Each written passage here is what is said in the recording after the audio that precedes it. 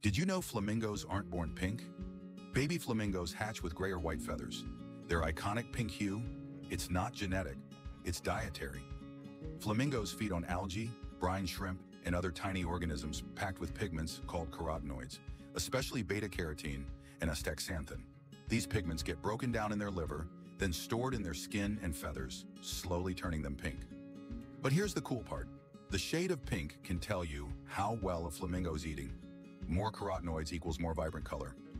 Less carotenoids equals pale feathers. Flamingos in the wild are often brighter than those in zoos, unless zookeepers adjust their diets with special supplements.